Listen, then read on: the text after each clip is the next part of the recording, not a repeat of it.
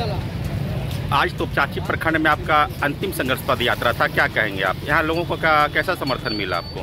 देखिए आज अट्ठाईसवां पंचायत बिरसा फोर्स संस्थापक अजमुल अंसारी ने शनिवार की शाम गोमो के रेलवे मार्केट से पुराना बाज़ार तक अपनी संघर्ष यात्रा पद यात्रा संपन्न की। इस दौरान अजमुल अंसारी ने पुराना बाज़ार स्थित महात्मा गांधी की प्रतिमा पर माल्यार्पण कर उनके बताए गए रास्ते पर चलने की बात कही।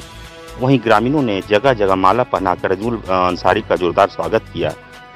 इस दौरान उन्होंने लोगों को संबोधित करते हुए कहा कि इस बार जनता हमें अपना साथ देती है तो विकास क्या होता है यह मैं कर दिखाऊँगा। उन्होंने कहा कि आप लोगों से जो वादा कर जा रहा हूँ, अगर मैं विधायक बन गया तो अपने किए गए वाद सभी वादों को ज़रूर पूरा करूँगा। अगर अपना वादा पूरा नहीं किया तो फिर कभी मैं अपना चेहरा आप लोगों को नहीं दिखाऊँगा।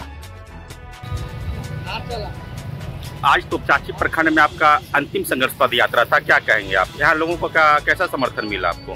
देखिए आज अट्ठाईसवां पंचायत पद यात्रा दौरा था।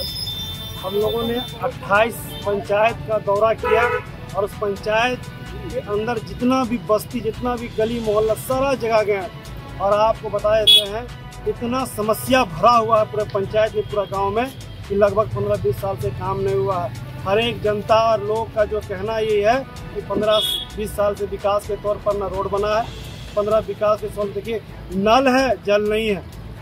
आज आपको बता दें, दिल का बात, ग्रामीणों का आक्रोश झेले हम लोग। हम तो संसद विधायक तो है नहीं पर ग्रामीणों लोग का जो है आक्रोश झेले, लोग को समझाएँ कि आज हम संसद विधायक नहीं है। आपको सहयोग करने हम लोग आए, मदद करने आए हैं। आगामी टुंडी विधानसभा में आप लोग सहयोग और मदद से आपको हम विधायक बनाते हैं। तो आपका समस्या को दूर सबसे पहले जो है, वो हम करेंगे। इतना साल से लोगों को जो है आप वोट दे करके जो है सोने का काम किया है और कुछ नहीं हुआ टुंडी विधानसभा में आप हर एक पंचायत का सर्वे कीजिएगा, हर एक पंचायत में आपको जो है, आपको कमी देखने को मिलेगा। जहाँ विकास के तौर पर काम नहीं हुआ, युवा लोग बेरोजगार है क्लाइन कर रहे हैं, ये बहुत बड़ा मुद्दा है। आज हमारी सरकार ने पचहत्तर परसेंट नियोजन नीति पास करने का काम किया। और यहाँ के जनप्रतिनिधि, यहाँ के नेता लोग जो है, हमको बता दिए यहाँ के नौजवानों को रोज़गार दिलाने का काम किया है, नहीं दिलाया है। सिर्फ़ और सिर्फ़ यहाँ के नेताओं ने अपना पॉकेट गर्म करने का काम किया अपना बड़ा बड़ा बिल्डिंग बनाने का काम किया आपके माध्यम से हम सवाल करते हैं कि टुंडी विधानसभा जनता जो फंड आता है, यहाँ का जनता का विकास करने के लिए वो पैसा कहाँ गया वो पैसा कहाँ गया है? वो पैसा कहीं दूसरी जगह तो नहीं लग गया। है यहाँ के जनता के बीच अगर पंचायत में अगर काम नहीं हुआ है विकास के तौर पर तो पैसा जाँच करने का विषय है और इसमें जाँच होना चाहिए। नहीं तो अन्यथा जो यहाँ का जनता बहुत आक्रोशित है आने वाला समय में इसका जो है जनता अपना वोट से जो है बदला लेने का काम करेगी।